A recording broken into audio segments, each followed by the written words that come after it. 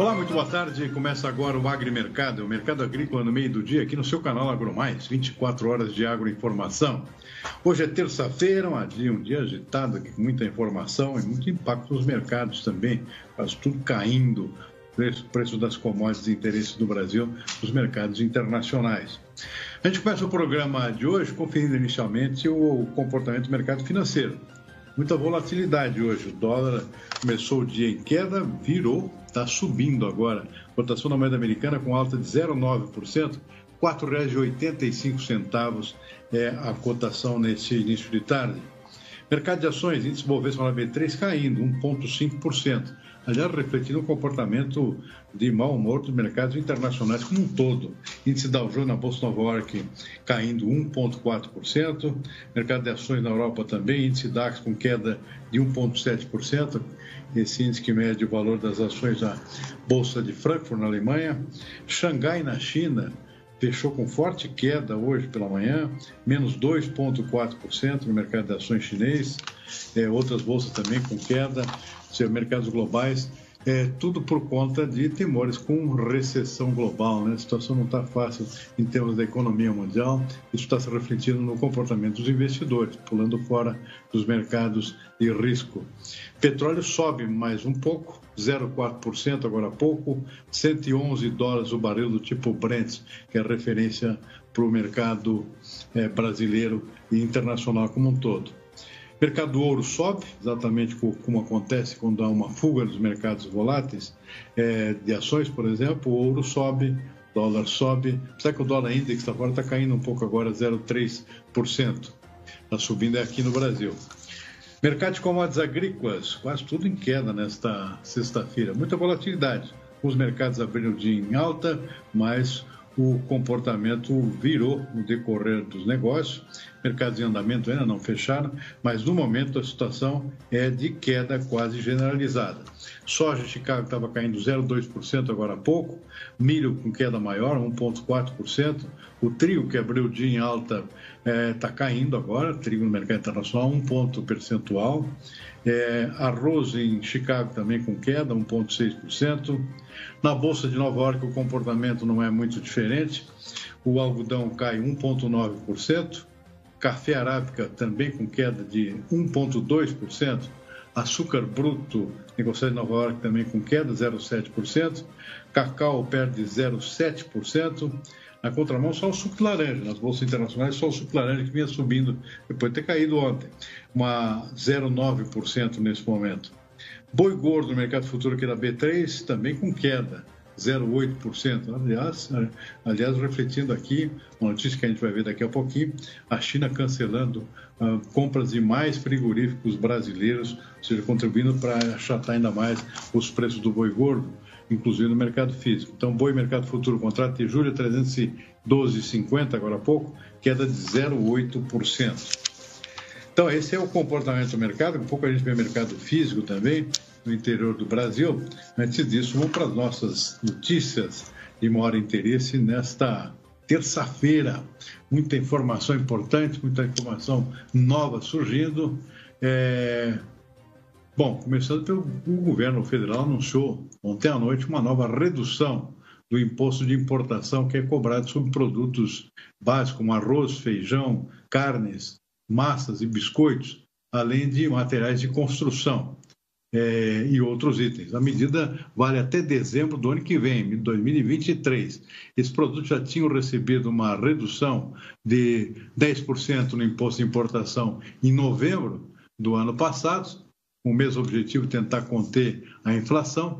E, segundo o Ministério da Economia, a decisão vai ajudar a baratear preços de bens importados, beneficiando a população e as empresas que usam os itens na produção, como matérias-primas, além de ajudar a conter a inflação no país. O caráter de urgência dessa medida ele está relacionado né, com o aumento da pressão inflacionária proveniente de um cenário global bastante adverso. Um cenário que já vinha né, causando perturbações das cadeias de suprimentos internacionais com repercussões né, na inflação global, em função da recuperação né, do pós-Covid, e agora, mais recentemente, adquire contornos ainda mais preocupantes com a guerra entre Ucrânia e Rússia, pressionando ainda mais os preços de commodities internacionais, como commodities agrícolas, metálicas, né, commodities energéticas, elevando a pressão inflacionária no mundo inteiro.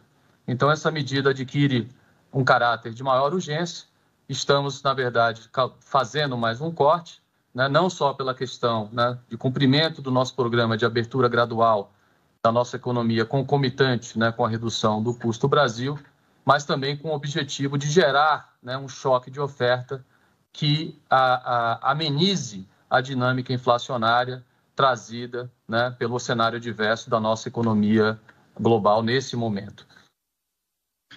Para comentar essa nova decisão do governo, a segunda aí no sentido de reduzir impostos e, e facilitar a importação de produtos agrícolas, eu convidei Marcelo Líderes, que é presidente do IBRAF, Instituto Brasileiro do Feijão e Pulses, para comentar essa decisão do governo, particularmente no setor de feijão feijão nosso de cada dia aqui também pode ser importado com mais liberalidade, sem imposto agora, segundo o pensamento do governo, pelo menos. Vamos ver se isso é viável. Marcelo Lides, muito boa tarde. Muito obrigado por nos atender aqui no nosso agrimercado. Bom, tem algum efeito prático essa decisão do governo, pelo menos no setor de feijão, ou é inócuo? Muito boa tarde.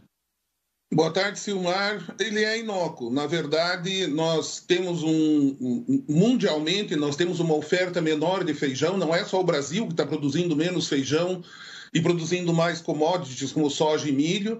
Existem problemas climáticos ao redor do mundo e existe o fato de que é, a maior parte do feijão é produzido em apenas uma safra é, no hemisfério norte, que é por volta de é, setembro, agosto, setembro.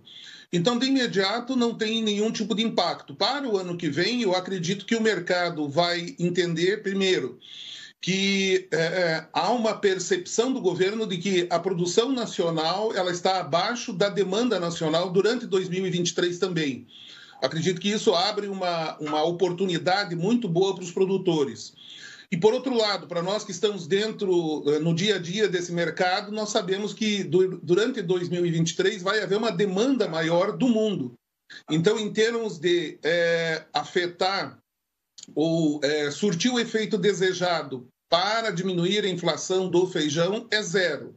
Por outro lado, eu acredito que essa sinalização para um mercado que conhece, sabe o que está acontecendo ao redor do mundo, é uma sinalização de que pode ser o momento de aproveitar, de aumentar as áreas de feijão no Brasil. Porque vai se falar muito sobre isso nos próximos meses, principalmente ao perceber que 10% a menos não traz mais feijão para o Brasil. Você tem comentado também, eu tenho ouvido alguns comentários seus nas redes sociais aqui, de que a produção brasileira desse ano também está abaixo da expectativa e pode haver um, é um curto-circuito no abastecimento já no segundo semestre. Ou seja, a dificuldade de importação, não tem muito de onde importar, e por outro lado, uma produção interna menor. É isso mesmo? O que foi que aconteceu? É a geada que afetou a produção ultimamente? Não? Eu acredito, Silmar, que a geada foi a gota d'água mas nós temos tido ano a ano e temos alertado, temos alertado através da Câmara Setorial, o próprio Ministério da Agricultura e outras autoridades de que a produção nacional per capita vem diminuindo ao longo dos anos. E aí você tem um momento em que você tem a valorização das proteínas animais e você tem um período em que é, começa a entrar um pouco mais de recursos, até de ajuda governamental para as pessoas, né? É, emergencial ou não, mas a, verdade é que tem é, programas sociais é, sendo levados a cabo, isso aumenta o consumo de feijão dentro do Brasil. Então, a geada foi a gota d'água, como, como eu comentei, porque nós temos área menor, nós tivemos aí, é, desde o ano passado, depois entramos na primeira safra, na segunda safra. A segunda safra vem bem em algumas lavouras, a média no Paraná do feijão preto é ótima, do carioca é razoável, mas Minas Gerais tem uma área menor do que o governo captou até agora, do que a Conab captou até agora. É, Goiás também tem uma diminuição, Mato Grosso tem uma diminuição de área e também de produtividade. Aí você tem uma geada e pronto, você tem aí a tempestade perfeita, um consumo é, crescente e uma oferta diminuindo. Tendência para a terceira safra é de algum aumento de área? Qual é, qual é o cenário? Até o momento, tudo indica que a área pode diminuir em função de que sementes têm aí sido bastante atrativas nos contratos oferecidos aos produtores. Depois, pontualmente, você tem algumas regiões, por exemplo, em Goiás, é, que é, tem aí um incentivo, ou é, é, mais interessante o plantio, por exemplo, de tomate em algumas regiões, de milho doce em outras. Enfim, existem vários atrativos e nós precisamos aumentar a área irrigada rapidamente. Nós sabemos, inclusive, que existe uma comitiva do Mato Grosso hoje, essa semana, em Nebraska, procurando apoio para algumas é, iniciativas que estão ocorrendo no Mato Grosso, buscando aumentar a área irrigada de forma segura do ponto de vista de sustentabilidade, mas pensando claramente também para os feijões. Então, essa terceira safra que vem aí, ela vai ser talvez suficiente para abastecer o mercado até novembro de feijão carioca. Feijão preto nós vamos importar da Argentina, que já não tem imposto de importação, né? Sempre nós não temos dentro do Mercosul imposto de importação. É, e não há como chegar até dezembro, janeiro, com a terceira safra, com o volume que vai ser ofertado na terceira safra. Então, vamos ter amenizado o impacto da diminuição de oferta no mês de agosto, quando entra o pico da safra eh, irrigada da terceira safra, e depois o cobertor não vai ficar curto, ele vai ficar muito curto. Esse ano o cobertor foi ficar curto lá por março, abril, ou seja, aquela oferta da terceira safra somada à pequena primeira safra abasteceu o mercado até março, abril. Não é o que vai acontecer no ano que vem se as áreas pretendidas de serem implantadas forem mantidas. Eu me lembro que havia uma época que o Brasil importava feijão da China também. Isso não existe mais, não? Não. Desde 2012, 13, houve é, uma opção, é, inclusive levada a cabo pela, pelo Estado chinês, pelo governo chinês, de atender a demanda de feijões interna, diminuir a produção de feijão para exportação, porque não fazia sentido para eles exportar feijões e importar soja e milho. Então, procurar produzir soja e milho dentro do território chinês. E a China foi saindo do mercado, tanto que é, nós começamos a desenvolver o mercado de mungo, de feijão mungo no Brasil. Ainda não temos um acordo com a China para exportar diretamente a eles, está pedido, estamos buscando isso, mas tomamos parte do mercado que a China atendia pelo mundo afora, ofertando feijão mungo a partir do Brasil. Mais recentemente, Silmar, a China vem eh, se colocando como importadora de feijões. Então, nós estamos buscando agora acordo fitossanitário através do, do Ministério da Agricultura, da Secretaria de Relações Internacionais, os adidos agrícolas que estão lá estão trabalhando fortemente para que nós tenhamos um acordo e possamos exportar também feijões para a China. Então, a China sai do, do mercado. Estados Unidos, nós temos visto a dificuldade de plantio da safra americana de soja e milho, solo úmido, clima que não anda tão bom nos últimos anos. Isso afeta também a produção de feijão. Então, o mundo todo, na verdade, Silmar, aproveitar para passar esse recado para os produtores, está olhando para a América do Sul. Quem vai fornecer feijões o ano que vem para o mundo é, é, a América do Sul que tem essa possibilidade. É isso que o mundo espera diante de uma, de uma situação aí de fome iminente por todo lado.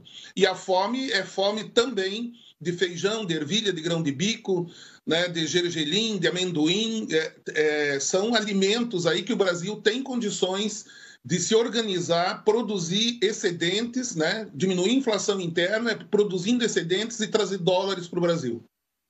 Muito bom. Para finalizar, Marcelo, o, o, feijão, embora esteja com os preços bastante elevados, não tem subido muito ultimamente. Estou vendo até algum recuo aqui no atacado de São Paulo, por exemplo uma queda aqui de 5% nos últimos dias. É, o que está acontecendo aqui com os preços de feijão? Tem alguma possibilidade de reação do ponto de vista do produtor, por exemplo? O feijão carioca ele está bastante valorizado, então tudo que é colhido é prontamente vendido, porque não faz muito sentido para o produtor esperar para vender um feijão de 400, 450 reais. Vamos lembrar aqui na conta do produtor, é, dois sacos de soja equivalem mais ou menos a um saco de feijão, quatro sacos de milho equivalem a um saco de feijão. A equivalência nesse momento está favorável ao feijão.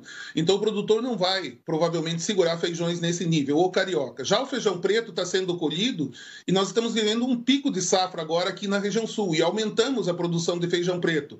Ainda bem, porque agora a população está substituindo o feijão carioca, que está mais alto, por feijão preto. Então, esse impacto tem trazido aí é, uma, um certo arrefecimento momentâneo para o feijão carioca, mas que logo passa. Talvez no final dessa semana, início da semana que vem, nós podemos ter uma retomada novamente da demanda do feijão carioca e do preto, trazendo muito provavelmente nos próximos dias, virada de mês, até alguma valorização a mais. Muito bem. Bom, excelente oportunidade do produtor de feijão voltar a investir nessa cultura, que é extremamente importante para o nosso abastecimento. No mesmo caso do arroz também, que anda meio devagar também em termos de aumento de produção aqui no Brasil. Ou seja, arroz com feijão volta à tona aqui como bom negócio para a próxima safra para ambos os tipos de produtores. Marcelo, agradeço muito a sua participação aqui no nosso programa mais uma vez. Uma boa tarde para você e até uma próxima. Obrigado, hein? Sempre um prazer, Silmar. Uma boa tarde a todos. Obrigado. O índice, bom, falando em preço de feijão e de outros produtos, o fato é que a inflação continua comendo. Comendo o nosso bolso. O Índice Nacional de Preço ao Consumidor Amplo, 15, o IPCA 15, segundo o IBGE, registrou alta de 0,59% agora em maio, após ter avançado 1,73% em abril.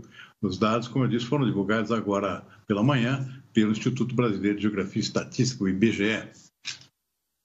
A alta é a maior para o mês de maio desde 2016.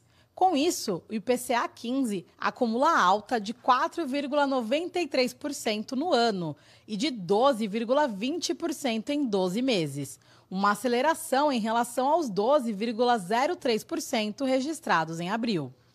O resultado ficou bastante abaixo da taxa de abril de 1,73%, que foi a maior variação mensal desde fevereiro de 2003 e a maior para o mês desde 1995, mas veio acima das expectativas do mercado, que projetava uma alta mensal de 0,45% e anual de 12,03%.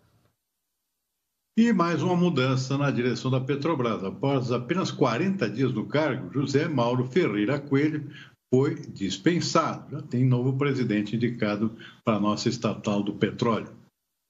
No lugar dele, o governo federal decidiu indicar Caio Mário Paz de Andrade, auxiliar de Paulo Guedes no Ministério da Economia, onde ocupava o cargo de secretário de desburocratização. Além de ser um homem de confiança de Guedes, que já tinha tentado emplacar paz no comando da estatal antes, também é do círculo mais próximo de Saxida, atual ministro de Minas e Energia.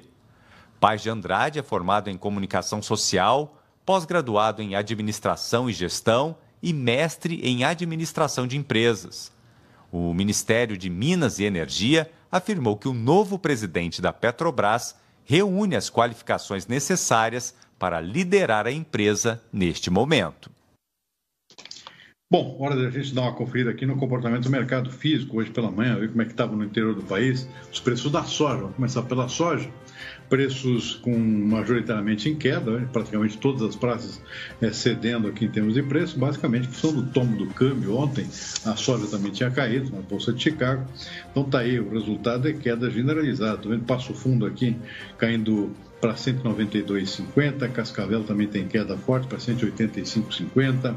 Rondonópolis, Mato Grosso também cai para 176. Enfim, Rio Verde 172,50, Dourado 178, queda forte aqui. Sorriso, Mato Grosso também caindo 1,2% para 167. E lá no, na, no, na região do, do, oeste da Bahia também, Barreiras com queda de 0,9% para 172 reais por saca. Vamos ver o milho. O milho também tem algumas quedas hoje. No Porto Paranaguá, queda de 0,5% para 92. Em Campinas, caindo forte, 3,8% para R$ 89,00 por saca. Cascavel, no Paraná, também caindo 1,1% para R$ 89,00. Outras praças aqui sem alterações, pelo menos até amanhã desta terça-feira. Daqui a pouco a gente vê mais cotações do mercado físico. Vamos em frente, que tem muita notícia importante ainda.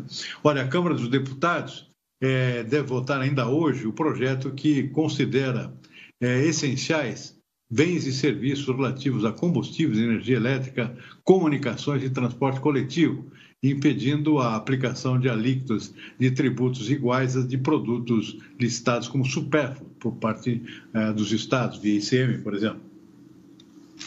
Texto substitui todos os tributos atuais por apenas três classes de impostos: sobre renda, consumo e propriedade. Devem ser definidos nesta terça-feira o presidente da comissão e o relator, que foram aprovados pela Comissão de Constituição e Justiça e de Cidadania ainda no passado. Hoje, as três bases são tributadas exclusivamente pela União. Os estados tributam majoritariamente o consumo e os municípios a propriedade. Conforme a PEC, estados e municípios poderão criar seus impostos sobre renda e patrimônio na forma de um adicional do imposto federal, delegando a sua cobrança ao fisco federal. Para evitar o efeito cascata, o imposto sobre o consumo será cobrado apenas na etapa de venda ao consumidor final no estado de destino da mercadoria. Vamos para a segunda parte do nosso mercado físico interno, os preços do boi gordo, vamos ver agora boi gordo aqui com uma queda aqui em Campo Grande, 1,8% para 280 reais. Outras praças, pelo menos até amanhã desta, quarta, desta terça-feira, estavam com preços estáveis, mas é, com muita pressão é, de oferta. A gente viu que no mercado futuro o preço segue caindo, né? até em função dessa decisão da, da China aqui de suspender importações de é, carne bovina brasileira, notícia que a gente vai ver daqui a pouquinho. Café, vamos para o café. Preço do café no mercado físico com queda. Sul de Minas, 1.230, caindo 0,8%. 1.235 Cerrado Mineiro, com queda de 0,4%. É, já o Conilon, por exemplo, Vitória, com preço estável, 745 reais por saca de 60 quilos. Vamos ver o arroz. Preço do arroz no mercado físico com queda, 0,4%. Região central do Rio Grande do Sul na faixa dos R$ 70,30 para o arroz em casca, saca de 50 quilos. Algodão, Vamos para o algodão, algodão com alta, 0,6%, ontem tinha subido na Bolsa. É, preço em São Paulo, R$ 7,90 por libra peso do algodão em pluma. Vamos em frente que a gente tem muita, muito mais notícia. Olha, notícia de impacto aqui no mercado da pecuária. A China anunciou hoje a suspensão de importações para o mercado de bovinos de quatro novos frigoríficos brasileiros, ou seja, mais quatro. O comunicado publicado nesta terça-feira pela Administração Geral de Alfândegas da China não explica o motivo para a decisão. Os chineses informaram que a interrupção dos negócios entrou em vigor já às zero hora desta terça-feira. Estão suspensas por períodos de até um mês as exportações de carne bovina de quatro frigoríficos brasileiros, sendo duas unidades da JBS, a primeira em Senador Canedo, no estado de Goiás, e a segunda em Lins, no estado de São Paulo. E das unidades da Mafrig foram suspensos os embarques de Promissão, também no estado de São Paulo, e de Várzea Grande,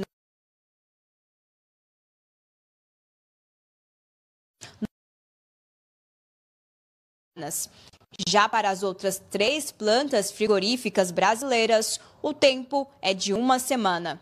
No dia 15 de abril, o governo chinês já havia anunciado a interrupção por uma semana de importações de carne bovina da unidade da Marfrig de Várzea Grande.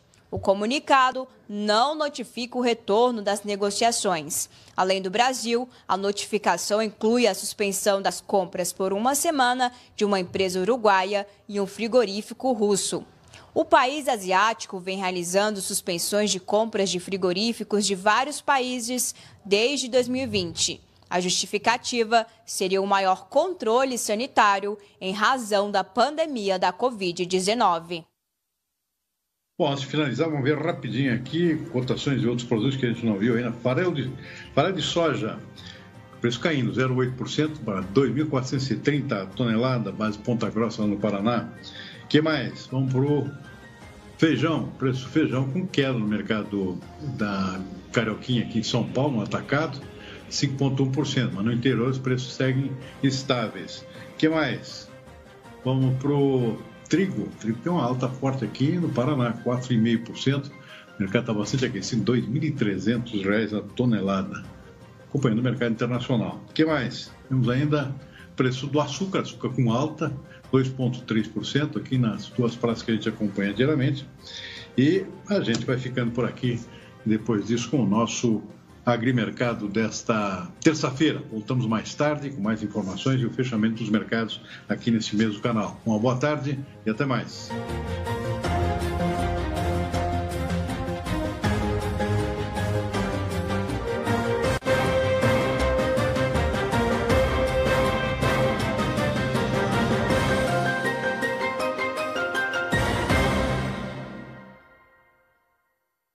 Agrimercado. Oferecimento.